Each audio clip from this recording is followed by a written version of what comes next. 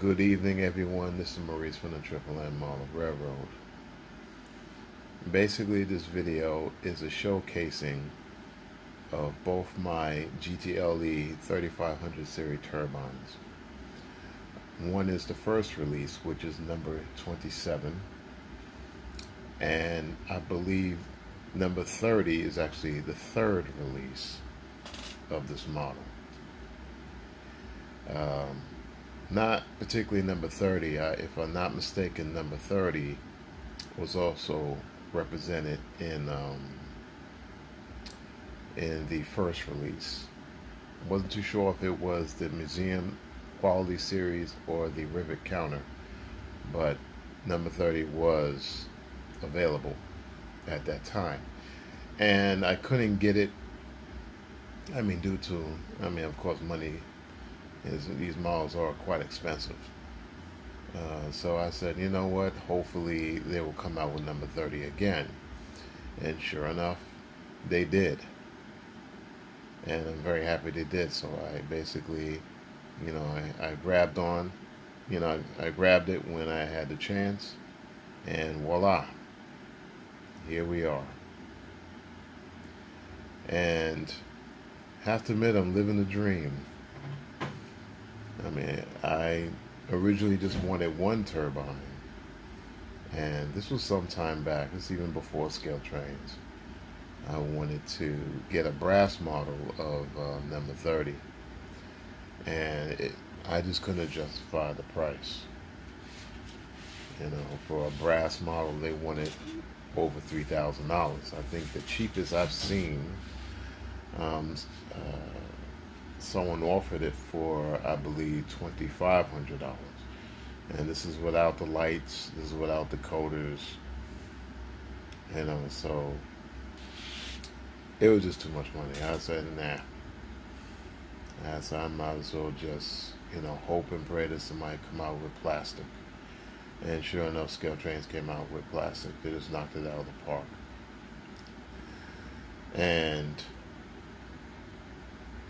I actually seen a video that Scale Trains have released on how they build, you know, how they build these models, and I mean, I have to give the people that actually build these things. It, it it's very tedious work, um, time consuming, and you know, my hats off to them you know, because you had to have a lot of patience to build not just one of these, but you had to build a lot of them. And, you know, this particular locomotive has so many, has thousands of parts and pieces, um, you know, carefully put together. So, you know, it, I have to admit, they had done an excellent job considering the time and the patience and the skill to actually put these models together. Um, number 30, you know, the paint job is, in, is excellent. There's no problem with the paint. Um, actually, number 30, since it's the third release, actually has the version 5 LokSound decoder. Now, basically, the models are, you know, they perform relatively the same. 27 has version 4. Um, just with a little tweaking, I can get them to run pretty much the same. I mean, the version 5s run a little bit better than the version 4s. They run a little bit more smoother. Um, you know, you know, smoother than the version 4, even though you really can't, I mean, after I tweak it, you really can't tell the difference. They basically run exactly the same, but if you, you know, basically set them, you know, set the settings to default on both decoders, they actually run um, a little differently, but that's here no there.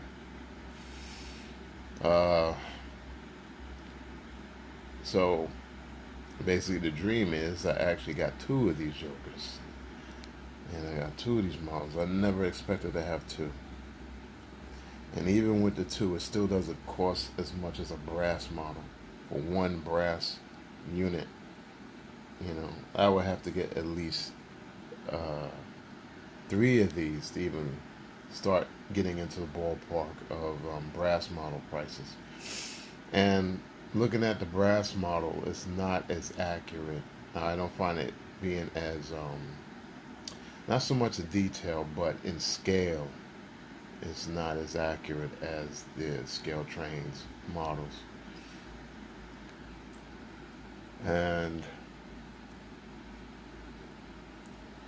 you know, so basically, you know, I'm going to go over what are the differences between road number 27 and road number 30. And there are some significant differences. Um, the lighting's not terribly great, but you know, I'll try the best. I'll do the best I can. I try not to make this video too long. If you want to see a comprehensive review, I have done a review on number 27 um, about several years ago when the models when the model first came out. Um, actually, I did a review on 27. I also did a showcasing of um, 26, which is my uncle's um, tur um, turbine. So, you know, so it's a fair warning. It's a very long video. So the video is over an hour, if I'm not mistaken. Um, but if you want a comprehensive, that's the video to watch. Basically, number 30 has the same functions as 27. I mean, nothing has really changed. Um, the only thing that changed is the decoder, but all the functions are basically the same. It's to have the same lights, it's to have the same sounds, it's to have this, everything is basically the same. You know, when it comes to function, um, just the motor control is just a little bit better on than version four, but not you know that you can really notice. So, okay and also the sound is exactly the same. So they use the same speakers. Um, my presumption they use the same type of speakers. I'm tempted to change the speakers uh, for something maybe better than what they got now. Um, but that may be a far future update for these models. I even thought about even changing the decoder for 27 to update it to version 5s, but that doesn't really make any sense because they're they perform it almost just about exactly the same. And I'm not going to run these in consist anyway. It doesn't make sense. I mean, it'll be interesting. See these in consist. You could probably pull like two, 200 plus cars with a consistent of um, on a flat level. That is um, with both of these locomotives. Um, actually, there is also a video with 26 uncle at uh, West Island actually pulling. It wasn't a hundred cars, but it was a lot of cars. I didn't count them, but it was uh, it was a significant amount of cars he was pulling, and it pulled it with ease, and with relative ease. So that's another video that's uh, in our archive, basically. You know, so you can actually check that out. Um, these engines never pulled anything. uh, never been on any other. Haven't been on a layout yet. Hasn't been out. Hasn't been on my uncle's layout. Hasn't been at West Island. I would like to take these at West Island and run these. Um, I need to buy some rolling stock. That's the only long problem. I don't buy rolling stock. And it's kind of odd running new rolling stock with this. I mean, you could do kind of like a uh, make believe excursion. Um, make this with a couple of um,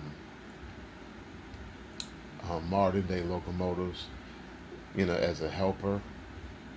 I mean, that would be nice. I mean, get some either some uh, some SD70s some ACEs or maybe some GEs. Actually, this is a GE, so if I'm not mistaken.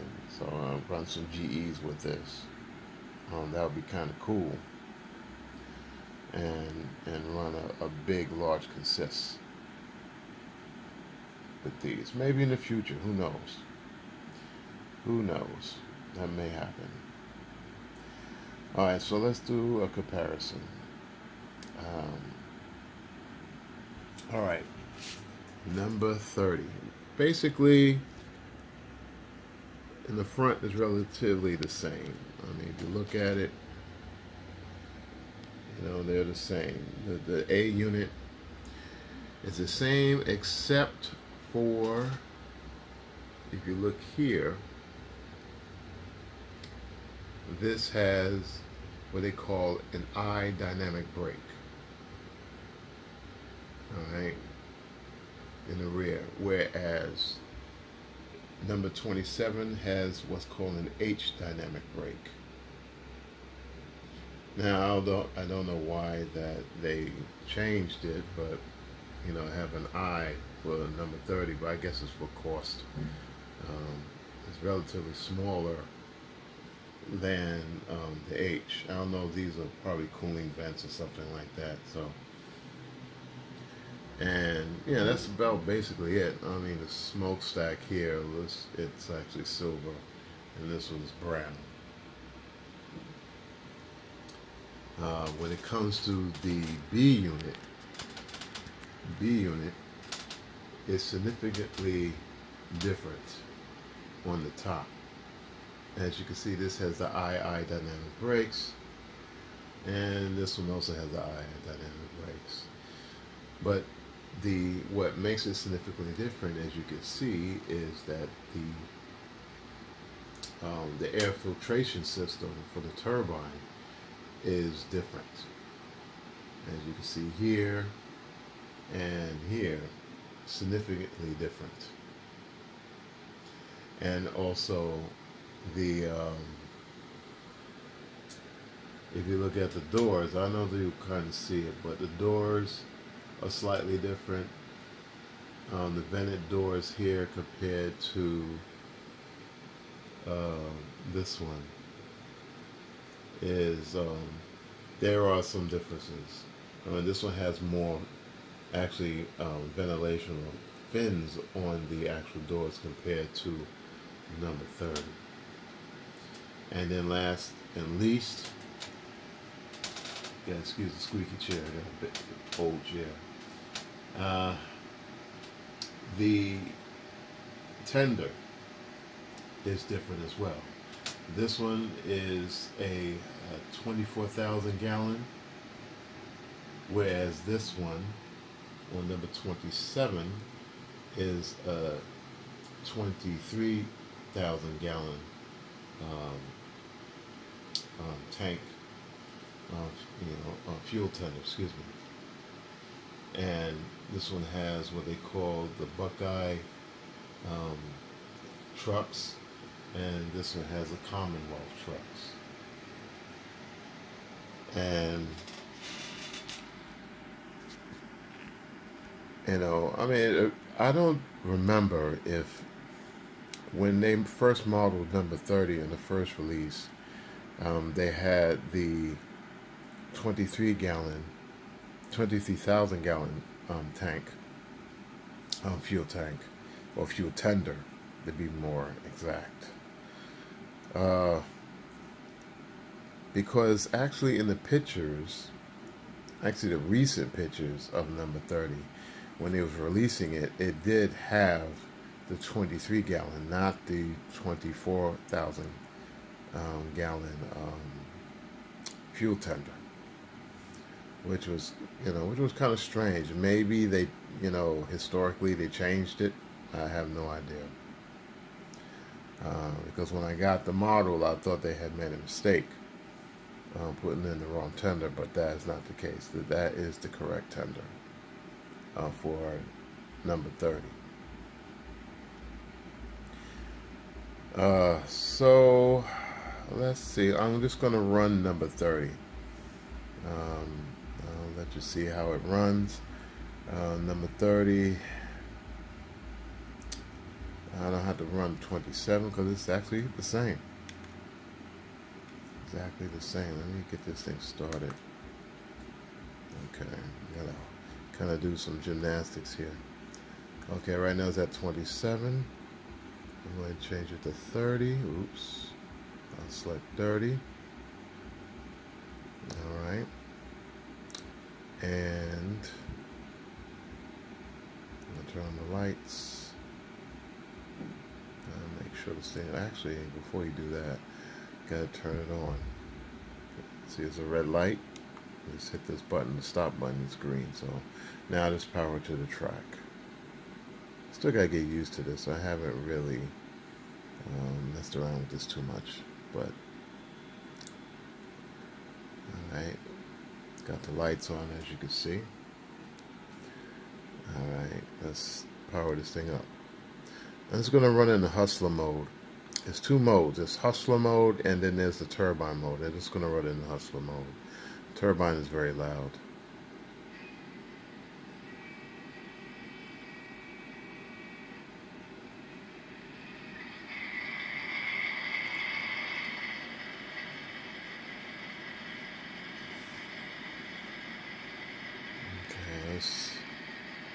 Let's turn on the lights.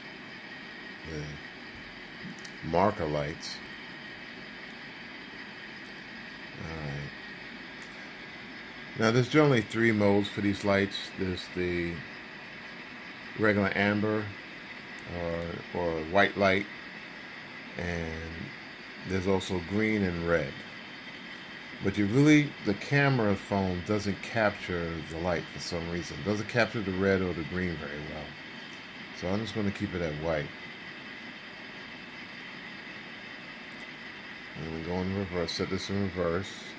Let's click this like that and it's in reverse. So you can change direction by just clicking this over counterclockwise. I like that. Alright, let's go in reverse. Let's hit the horn twice.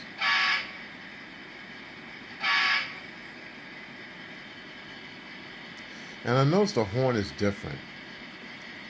Uh, I don't know if that's by accident uh, because it is different from number 27. Um, the model of the horn is exactly the same. So it made it, I mean, ESU may have made a mistake or scale trains, I don't know. But um,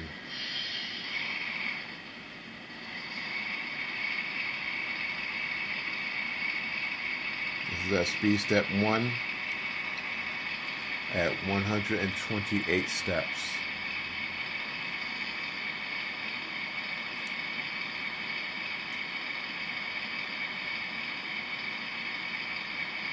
Uh, speed it up a little bit to get this thing along.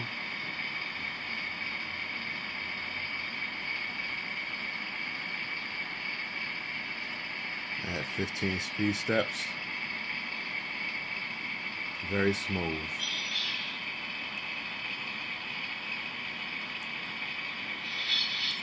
Also, it has the sound effects of it going over frogs, as you can hear. Um, there's actually sensors in the truck that senses the wheels going over the frogs. It's a nice touch.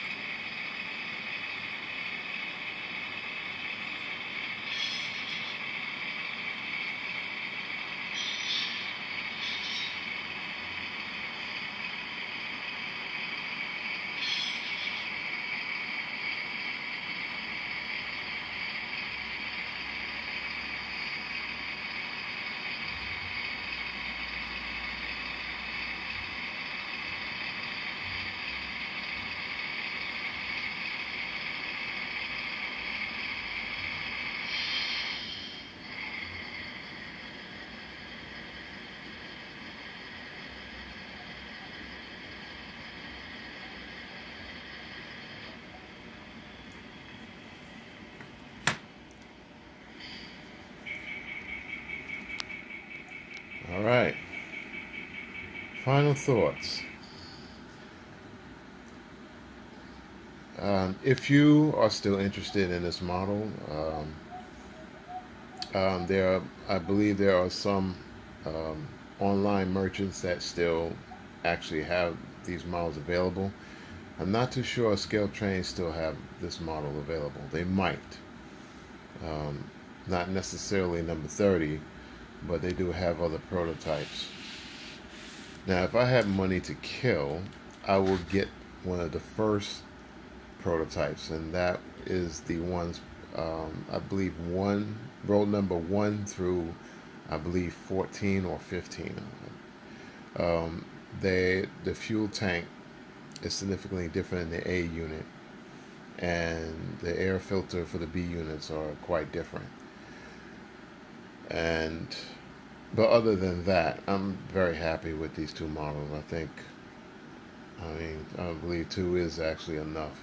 you know, I'm not rich.